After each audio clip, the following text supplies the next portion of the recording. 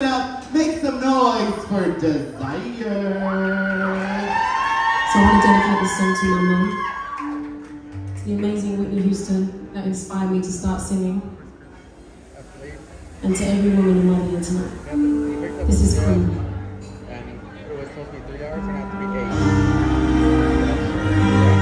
so he was like...